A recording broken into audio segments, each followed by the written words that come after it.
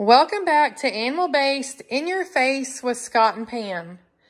Today I'm going to be making up a great breakfast or brunch idea with spaghetti squash that needs to be roasted. So you'll need a whole spaghetti squash and then you'll roast in the oven and you can find this recipe on our YouTube channel.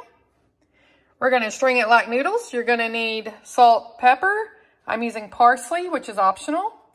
You'll need a baking pan with parchment paper, bacon, which I already have pre-cooked, eggs, and your choice of cheese. Let's get cooking. So what you're going to need is a spaghetti squash that's already roasted. And I do have this on our YouTube channel, like I mentioned, but I want to show you when you roast the spaghetti squash, it looks like spaghetti noodles. It's a perfect pasta replacement that's low carb and great for so many different recipes. So first we're going to start um, with our spaghetti squash and we're going to take some out and we're going to put it on a baking sheet. Okay, so we took our roasted spaghetti squash. Now this is only half of one and then what's on the pan. And I strung it like noodles. Next, I took a half a cup of the roasted spaghetti squash and made a nest. And I'm gonna show you how I do it. It's super easy. But a half a cup of roasted spaghetti squash is only four net carbs. So a cup total is eight net carbs. So take your half a cup or however much you're using and you just want to make like a bird nest and you want it sunk in the middle but solid. And the reason you want it solid is because you want your egg to stay on that spaghetti squash as much as possible. Now, if it don't, it's okay. It's not about perfection. It's your food. You're eating it. But, you know, um, food that's pretty is appetizing looking. So, you're just going to make it into a nest, kind of sink it in, just like that, so your egg can go right in the middle.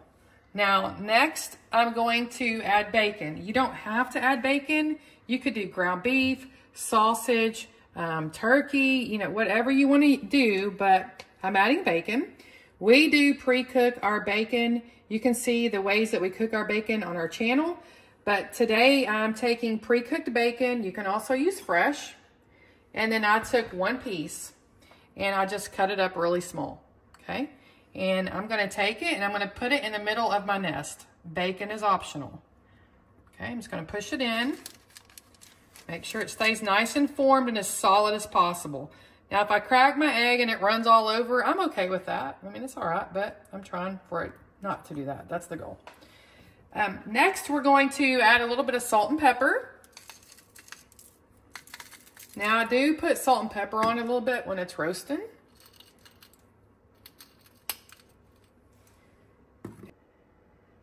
Okay, I have my two egg nests ready.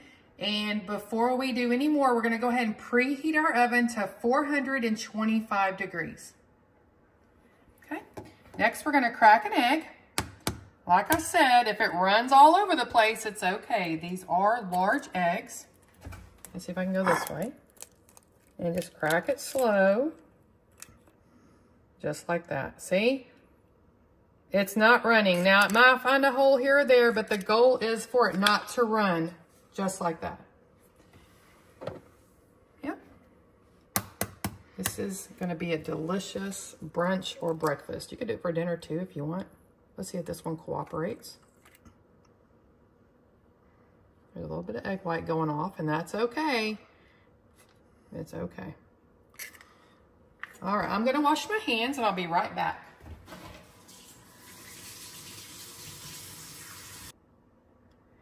Okay, next I'm gonna sprinkle a little bit of fresh shredded that we shredded ourselves, mild cheddar. You can use any cheese that you want. You don't even have to use cheese if you're trying to stay off of dairy.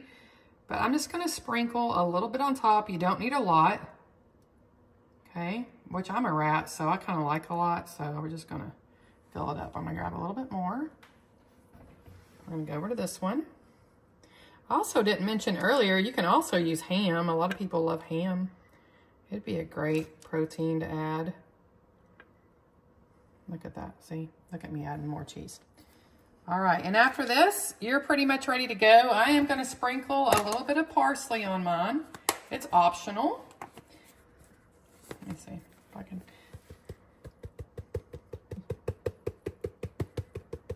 Okay, and over to the next one.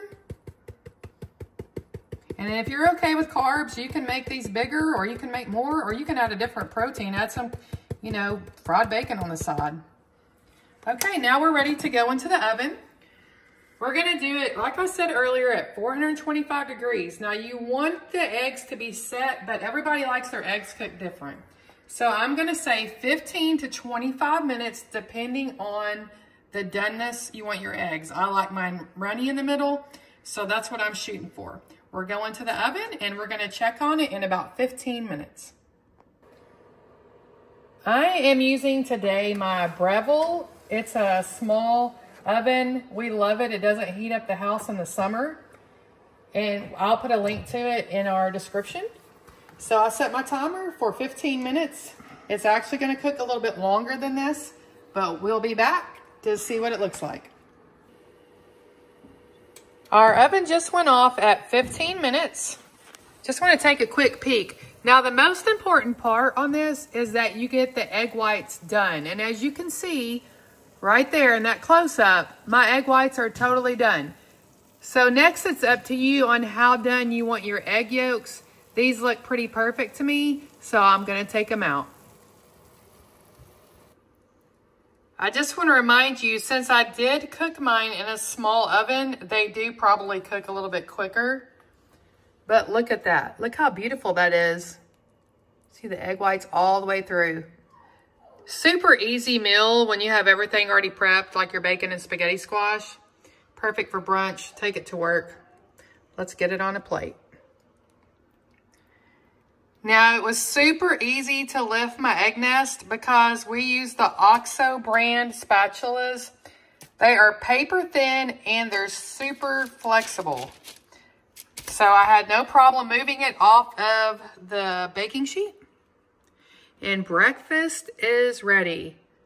I will also probably meal prep a few of these, put them in containers because I work um, in homes where I have microwaves and it'd be super easy to heat these up. I hope you guys enjoyed this recipe.